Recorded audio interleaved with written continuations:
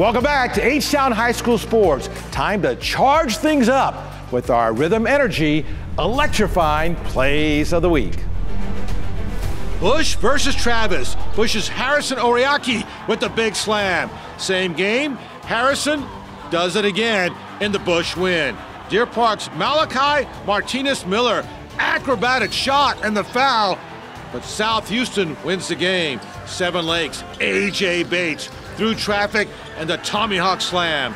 Same game, Josh Akpova with one of his 11 blocks, a school record. Same game, Bates off the steal. Check it out. Off the glass, back to Josh, who slams it in the Seven Lakes win. Pearland Dawson, Kendrick Bailey to Jaden Miller to Keyshawn Cotton for the stuff. Same game now.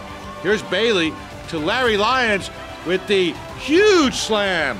A little bit later, Lyons again, he soars in for the big dunk. Late in the game now. Here's Bailey. No look, Charles Anderson, and the slam in the win over Shadow Creek.